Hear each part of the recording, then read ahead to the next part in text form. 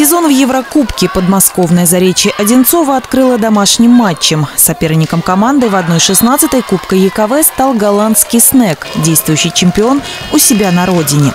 В стартовом составе Заречья на площадку вышли Ангелина Лазаренко, Татьяна Романова, Наталья Назарова, Валерия Гончарова, Алина Ерошек, Ангелина Сперскайте, Алла Галеева. Гости из Нидерландов играли напористо, обозначив преимущество с первых минут матча.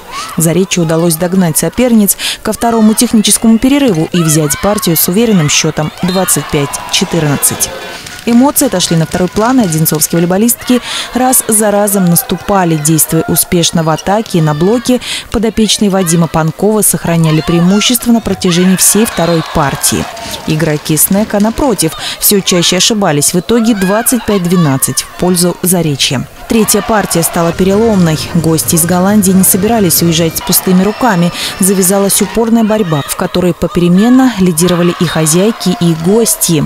Капитан Заречи Наталья Назарова сумела стабилизировать ситуацию несколькими успешными эйсами, а Ирина Воронкова закрепила успех коллеги по команде двумя результативными атаками.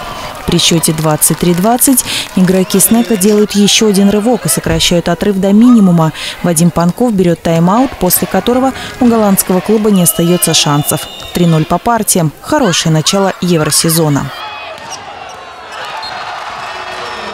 Хорошо подготовились к игре. Мы разобрали, провели три собрания, разобрали всех игроков, которые есть в команде.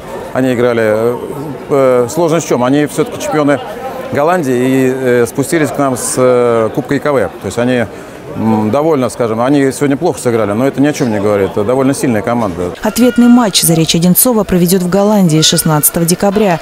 И эта игра, по мнению главного тренера Вадима Панкова, будет не столь однозначна. А Новый год одинцовские волейболистки откроют домашние встречи в рамках чемпионата России с краснодарским «Динамо» 12 января. Мария Подъепольская, Станислав Тривонов, телекомпания «Одинцова».